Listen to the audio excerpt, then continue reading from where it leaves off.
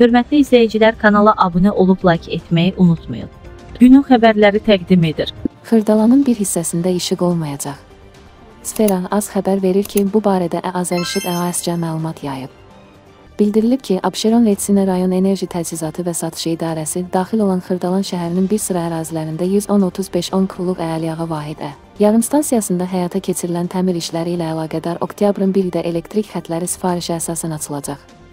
Bununla əlaqədar olaraq saat 09:00-dan saat 15:00-dək quşçuluq yaşayış massivinin bir hissəsində Şıxəli Qurbanov, Nizami küçələrində elektrik enerjisinin verilişində məhdudiyyət yaranacaq.